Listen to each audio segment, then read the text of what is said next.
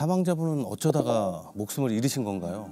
사망자분은 양손과 다리가 걸려박이 돼 있었고요. 어머. 아이고. 목에 이제 압박 흔적이 보였습니다.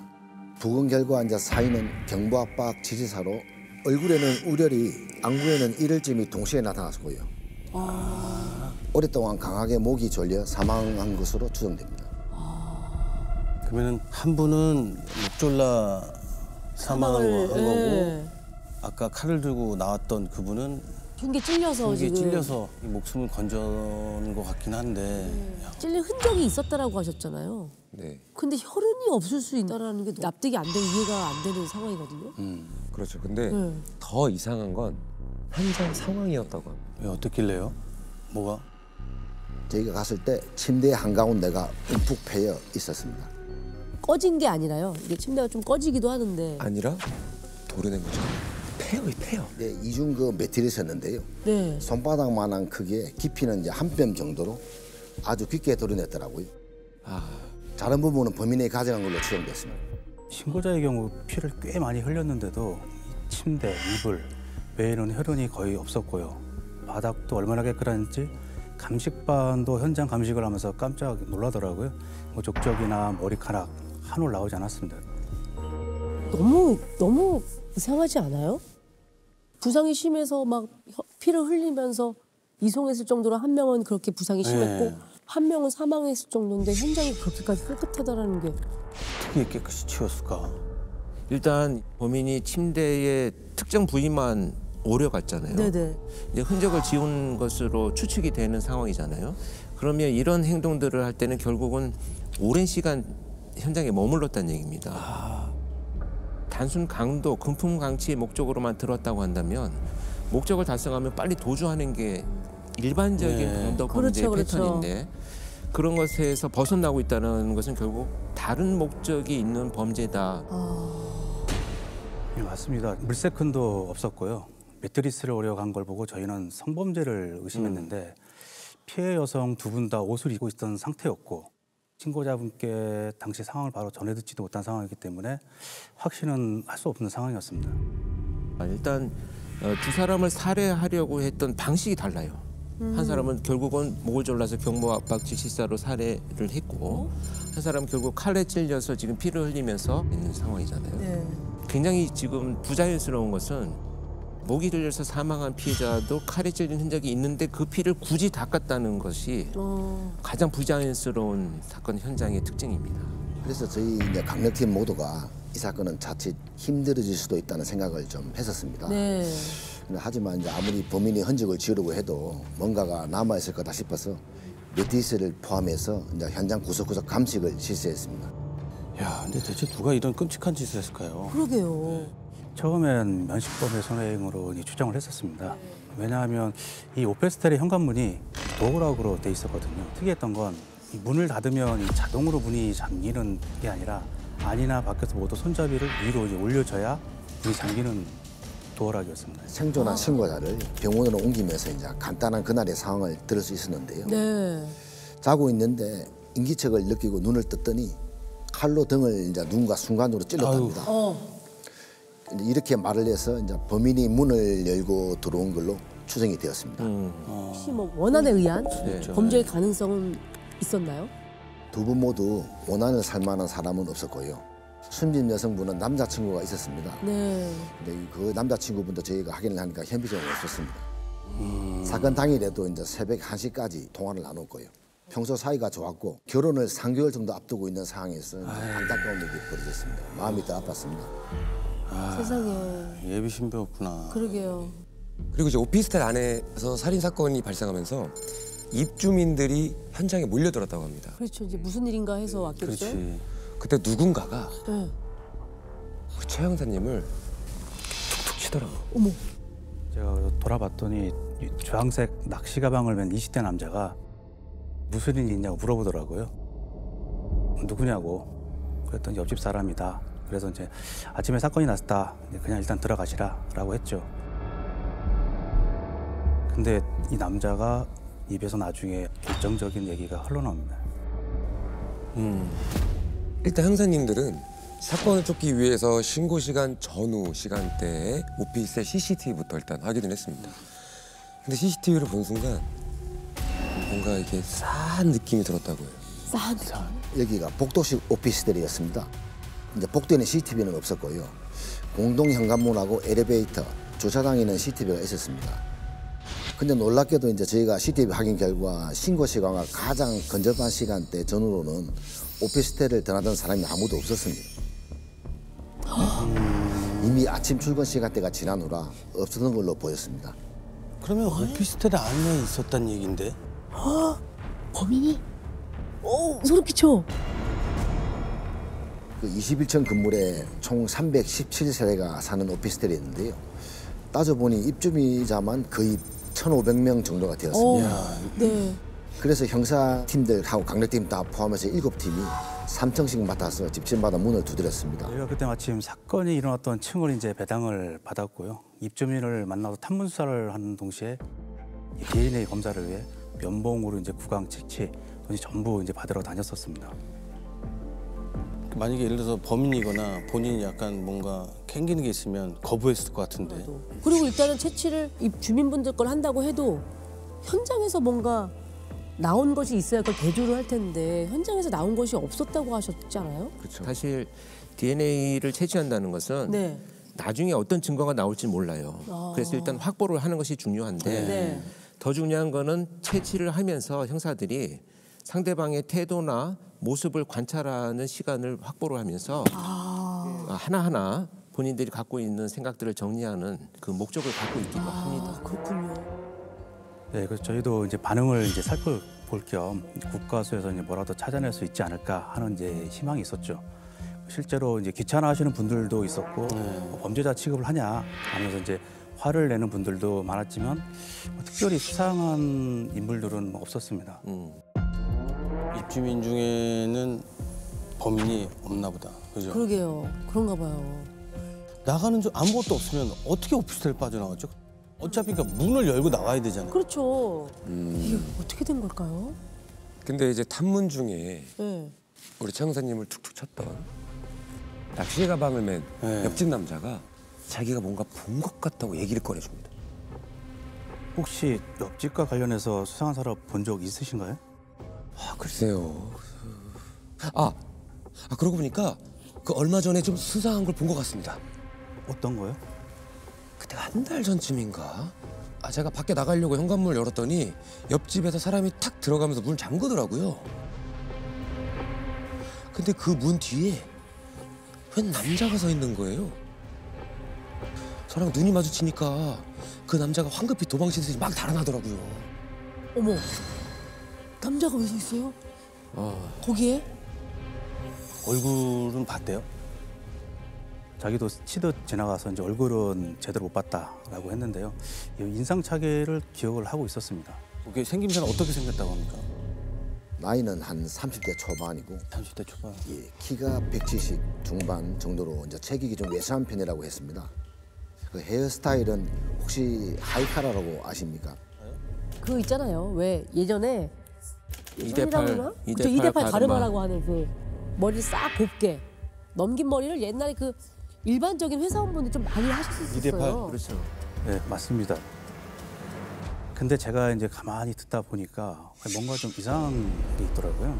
키며 체격이며 이 헤어스타일까지 옆집 남자하고 너무 똑같더라고요. 그래서 제가 이제 대뜸 이거 당신 아니야? 당신인데? 그, 만약에 그분이 뭔가 이 사건에 연루가 돼 있다면 그 사람 너무 이상한 거 아니에요? 처음에 와서 톡톡 치면서 자기가 먼저 자기가 뭔가 뭔가 봤다고 있다. 얘기를 했고 예. 그거는 좀 난 이해가 안 돼. 상식적으로 이해가 안 되잖아요. 이해가 안 돼. 자기가 진짜 범인인데 자기를 가리키는 제보를 한다? 바보지. 그거는 이상하잖아요. 네, 그래서 아니라고 이제 불같이 화를 내면서 내가 범인이면 DNA를 채취해줬겠냐 네. 나가라 그렇게 막 하더라고요. 아, 어떻게 보면 형사님 촉으로 봤을 때는 네. 뭔가 느낌이 있었기 때문에 당신 아니야 그랬을 거 아니에요. 괜히 그런 얘기를 또 그 얘기를 들으면 또 어 그 사람 쪽으로 좀 기울고 그러니까 괜히 생각이. 그런 얘기를 하진 않으셨을 것 네. 같긴 한데 이 상황이 너무 상식적으로 이해가 안 되니까 이해가 안 되죠. 그 사람이 불같이 화내다를 내는 것도 이해는 돼요. 음, 음, 네. 맞아요, 맞아요. 그때 저도 이제 옆에 같이 이제 현장에 같이 있었습니다. 저도 이제 똑같이 이야기를 듣고 똑같이 생각했었습니다. 예, 인상 사이가 딱 옆집 남자였습니다. 그래서 혹시나 하고 네. 사건 추정 시간에 뭐 했느냐 물어봤더니 여자친구랑 새벽 내내 술 마시고 새벽 5시쯤 집에 들어왔다. 그 저희가 여자친구도 확인해 봤습니다. 네. 보니까 똑같이 이제 얘기를 했고요. CCTV에 또 확인해 보니까 새벽 5시에 들어온 게 맞았습니다. 뭐 알리바이가 그러면은 있었네. 어, 알리바이도 있는 거니까 불같이 화를 낼 만 했네요. 아무리 그래도 자기가 범인이라면 자기 인상착의를 목격담으로 그대로 얘기하겠어요. 그렇죠. 그건 그렇죠. 아닐 것 같아. 어, 근데 그 목격자가 봤다는 그 남자, 그 남자를 찾는 게 중요하겠네요. 그 남자가 누구였는지.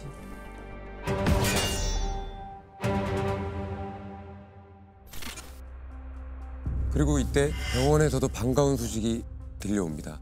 신고자분이 네. 아까 피를 굉장히 많이 흘렸다 그랬잖아요.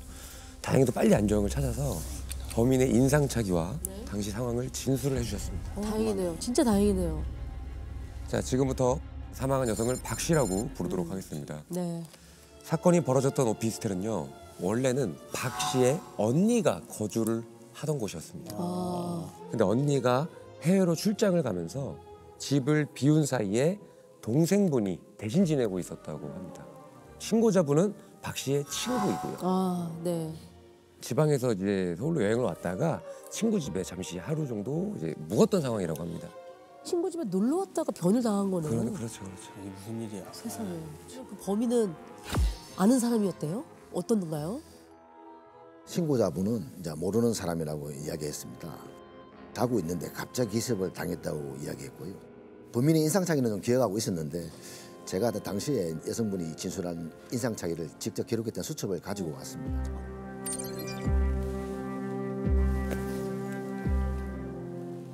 십팔 년 전의 수사 수첩이네요.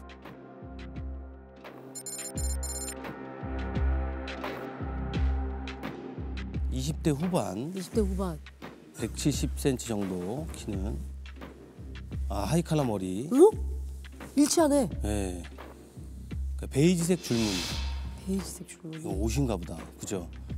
어 슬리퍼 소리가 들렸다? 이렇게 좀 적혀 있거든요, 형사님 이 수첩에는. 지금 아까 그 옆집 남자분이 진술한 거랑 똑같잖아요. 그렇죠. 170 정도 돼 보였고 네. 헤어스타일이 하이카라였다. 그렇죠.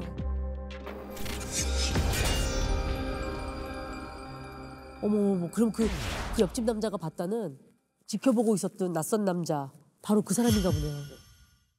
당시 상황에 대해서도 굉장히 구체적으로 또 진술을 해주셨는데요.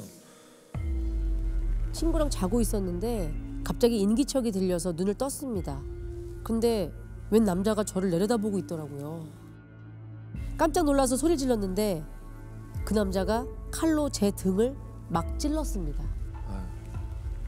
저는 정신을 잃었고요. 한참 뒤 친구 휴대폰에 알람 소리가 들려서 정신이 들었는데 그 남자가 그랬는지 제가 이불에 덮여 있더라고요. 앞이 안 보였어요. 그리고 이상한 소리가 들렸어요. 친구가 남자에게 몹쓸 짓을 당하는 것 같더라고요. 저는 너무 놀라서 또 한 번 정신을 잃었다가 깼는데 친구의 숨 넘어가는 소리가 들렸습니다. 저는 너무 무서워서 아무것도 할 수가 없었어요. 그 후로 방에서 계속 왔다 갔다 하는 발소리가 들렸고요. 아 칼로 찔러서 죽은 줄 알고 덮어놓고 그렇죠. 옆에서 몹쓸 짓을 하고 있었던 거예요? 네. 그렇게 숨죽인 채 친구분이 겨우 정신을 붙잡고 있었는데요. 갑자기 발자국 소리가 점점 점점 가까이 들려오기 시작합니다. 그리고 바로 앞에 범인이 멈춰선 느낌이 납니다. 왜? 아마 범인이 먼저 공격했던 여성이 살아 있는지 확인을 하려고 했던 것 같습니다. 그렇겠지. 그때 정말 뭐 필사적으로 숨을 꾹 참고 있었다고 했고요. 아우 그리고 이제 한참 후에 발소리가 점점 멀어지더니 현관문 열리는 소리가 들렸다고 합니다. 친구분이 그때 이제 현관문을 나서는 범인이 슬리퍼 소- 끄는 소리를 들은 거죠.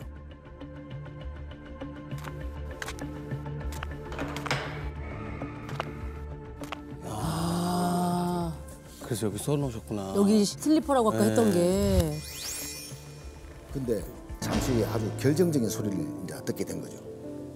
삐삐삐삐 현관문이 열리고 닫히는 소리가 들리더라고요. 복도식이니까 같은. 그 층이네. 어머 말도 안 돼. 제보를 했던 목격했다라고 하는 사람이 그 층에 있다라는 얘기가 되잖아요. 그렇죠. 그 남자가 이 같은 층에 살았다는 얘기잖아요. 그럼 그 층을 다 조사하셨다 그랬잖아요. 수사할 네, 때. 그 층을 담당해가지고. 야 그럼 그 담당해서 그 봤던 그 사람 중에 한한 명이라는 얘기 수 아니에요? 있는 거네요? 분명 범인이 이제 오피스텔에 있는 것 같은데 누군지 확신을 할 수 없을 거예요. 오피스텔에 거의 이제 상주하듯 했거든요. 그러면서 이제 옆집 남자가 목격하였으니까 뭐 하나라도 더 들어보려고 아침 저녁 출근할 때마다 인사하면서 이것저것 물어보고 그랬는데 아무래도 뭔가 좀 수상했었습니다. 일단 저도 굉장히 수상스러웠던 것 중에 하나가 네. 진술 내용이에요. 목격을 했다라고 하는 것을 이제 잘 들어보면 한 달 전에 아주 짧은 순간에 목격한 내용입니다. 근데 이 기억이 너무 상세하다는 거죠. 왜냐하면 사실 인간의 기억이라고 하는 것이 단기 기억, 뭐 장기 기억 이렇게 나눠져 있어가지고 네. 불필요한 기억들은 금방금방 지워지기도 하고 네네. 왜곡되기도 하는데 특별한 이벤트 예를 들면 뭐 그 사람하고 뭐 어깨를 부딪혔다든지 뭐 물건을 왕창 쏟았다든지 이런 기억이 아닌 이상 잠깐 문을 열고 문 뒤에 서 있던 사람의 인상착의를 설명하는데 이게 너무 상세한 거죠. 근데 그 사람이 봤을 때 그 남자가 지켜서 보고 있던 게 너무 막 이상하게 느껴져서 그게 좀 인상적으로 남았을 수는 없나요? 그런 가능성이 충분히 있는데 지금 진술을 하게 된 배경을 보면 자기 스스로 뭔가 와서 얘기를 하잖아요. 먼저 예. 만약에 이 낚시 가방 든 옆집 남자가 범인이라면 왜 자기랑 인상 차이가 비슷한 그렇게 얘기를 했을까요? 오히려 왜곡해서 얘기해야 되는 게 정상인 것 같거든요. 근데 자, 근데 이제 범인의 입장에서 본다면 매트리스까지 오려가는 이런 치밀함을 보였잖아요. 네. 증거도 많이 인멸을 했고, 그다음 장시간 머무르면서 피해자가 사- 확실히 사망을 했는지 확인까지 한 네. 이런 걸로 봤을 때는 피해자들이 이미 다 사망을 했고, 그다음에 증거는 하나도 없고 그렇기 때문에 잡힐 가능성은 없다 이렇게 판단을 했던 것 같아요. 야 야, 그러면 목격자인 척 했다는 거예요? 그러니까 너무 이상한데? 그렇죠. 구체적으로 이제 진술한 것이 매우 좀 이상하게 생각했고요. 어. 그래서 이제 유력 용의자로 받고 어떻게든 이제 증거를 찾아보려고 이제 그 집에 이제 다시 가기로 했습니다. 네. 예, 집에 가서 혀로 입은 옷이라도 있는지 일단 찾아보자. 예, 그런 마음으로 이제 초인종을 눌렀죠. 근데 별다른 의심 없이 집 안으로 저희들을 들이더라고요. 아 그냥 뭐 들어오세요 이렇게요? 네. 혼자 사는 사람은 어떻게 사는지 궁금해서 와봤다. 뭐 옷이랑 신발 이런 것도 보면서 이제 이거 어디서 샀냐? 어 나도 사고 싶다. 네. 이러면서 이제 저희가 이제 둘러봤는데 뭐 혈흔이나 이런 묻은 것들은 안 보이더라고요.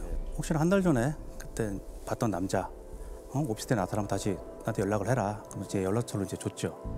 그래서 거의 이제 매일 이제 전화하면서 마치 그냥 친한 형처럼 그렇게 계속 이제 관계를 유지하고 있었죠. 근데 이제 이 옆집에 이제 저희가 갈 때마다 이상하게 이제 현관입구에 술병이 점점 늘어나는 겁니다.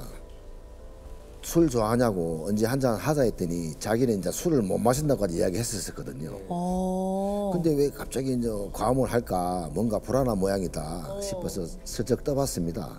뭐 안 좋은 일 있냐 형한테 다 이야기해봐라.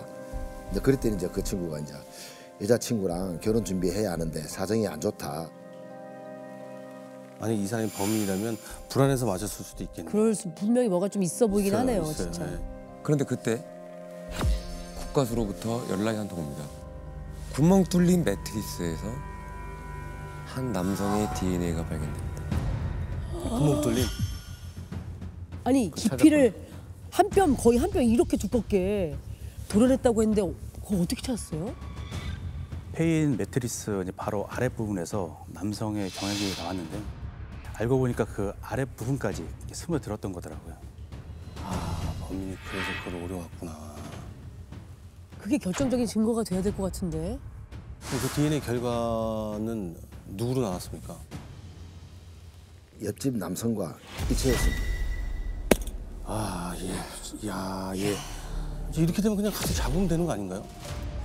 그렇습니다. 지금부터 옆집 남성을요 최 씨라고 부르도록 하겠습니다. 형사님들은 DNA 결과를 받고 바로 최 씨의 기지국 위치를 확인했습니다. 그런데 휴대전화가 꺼졌습니다. 아, 도망갔구나. 눈치챘구나. 어떻게 알고 도망갔지? 휴대폰을 끄기 전 마지막 위치가 이제 최 씨가 다니던 회사 근처였습니다. 네. 그래서 이제 일단 한 팀은 회사 쪽으로 보내고 저를 포함한 한 팀은 이제 집 앞에 가서 잠복을 계속 하고 있었죠. 그런데 그때 갑자기 우리 최 형사님의 휴대폰이 울립니다.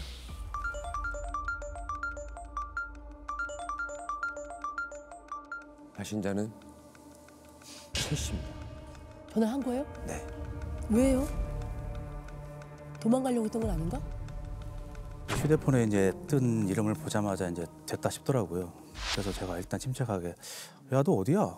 저녁에 한잔 하려는데 너 휴대폰 꺼져 있어 걱정했잖아. 뭔일 있니? 자연스럽게. 예.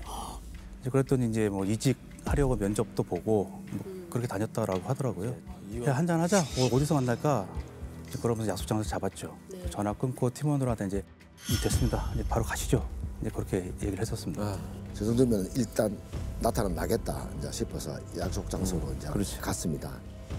그런데 이제 범인의 차가 딱 보이더라고요. 저희가 차를 미리 알고 있었습니다. 팀장님이 그때 이제 야 차 들이밀어 그래가지고 앞뒤로 이제 목도망하게 들이맞고 범인을 차에서 끌어냈습니다. 어, 잡았군요. 잡았네요. 술 마시는 줄 알고 왔다가 이제 체포를 당했으니 음, 상당히 당황했을 것 같거든요. 반응은 어땠나요? 처음엔 좀 당황하더라고요. 근데 바로 이제 침착하게 저 아닙니다, 저 아니에요. 그런 얘기를 하더라고요. 그래서 이제 DNA가 나왔다 얘기를 했지만은 아니라고 했고 변호사가 DNA가 틀릴 가능성은 없다고 인정하라고 했는데도 듣는 척도 안 했습니다. 아, 그래서 어떻게 하셨어요? 저희가 피해자분 사진까지 이제 들이밀면서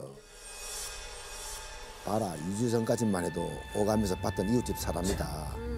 너 미안하지 않느냐? 이제 그러니까 이제 아무 말도 안 하더라고요. 그러면서 또 저는 아닙니다. 또 그러고 저희 앞에서 울기도 하고 막 어리숙하게 막 말도 하고 뭐 그랬는데 끝까지 말을 안 해서 도저히 이대로는 안 되겠다. 범인의 아버지까지 모셔다가 같이 설득도 해보고 근데 소용이 없었습니다. 일단 범인은 버티면 된다는 생각을 한 모양이에요. 계속 하는 거죠. 예. 어떻게 자복을 이끌어냈을까요? 근데 저한테 이제 범행 다음 날 낚시를 하러 고향에 다녀온 적이 있다 그런 얘기를 했었습니다. 그래서 이제 그때 범행 도구를 고향에 갖다 버린 게 아닌가 네. 싶어서 이제 범인한테 야 고향에 가보자. 간 김에 어머니도 만나서 얘기해 보자. 음, 음. 그랬더니 갑자기 그놈 눈빛이 싹 변하면서 한마디 했습니다. 인정하면 어머니 안 만나러 가도 되는 거죠? 아, 이거 하는구나. 그 눈빛이 살인자 눈빛이었습니다. 아, 도대체 왜, 왜 이런 짓을 했던 거예요? 난 도대체 이해가 안 됩니다. 최 씨는 사건 발생 3개월 전 이- 입주를 했고요. 그때부터 이제 혼자 사는 옆집 여성을 지켜봤다고 말했습니다. 이 사건 당일 새벽 5시까지 여자친구랑 술을 마시고 집에 가다가 이제 혹시나 해서 문을 열어봤는데 문이 그냥 열렸다고 하더라고요. 사망한 여성분이 이제 언니가 집을 비운 사이에 30년 머물렀던 거거든요. 예. 도락이 익숙하지 않았던 걸로 보입니다. 국민 말은 이제 문이 열려서 일단 들어갔는데 계획했던 거와는 다르게 두 사람이 이제 자고 있었던 겁니다. 그래서 이제 주방에서 이제 칸을 꺼내드는 거죠. 이제 친구를 먼저 이제 흉기로 찔렀고 사망한 줄 알고 이불로 덮어서 침대 끝으로 밀어뒀고요. 이후에 이제 사망자를 여러 차례 이제 범한 겁니다. 어우, DNA가 이제 남을까봐 샤워까지 시키고 샤워를 시켜. 어우, 너무 끔찍해. 그러면은 사망하신 분도 그렇지만 옆에 칼에 찔려서 누워있던 그분은 그걸 계속 들었다는 거 아니에요? 그렇죠. 숨을 죽이고 진짜 이거 죽은 척을 하면서. 그러니까 사망한 분한테서 그 혈흔이 안 보였다고 했잖아요.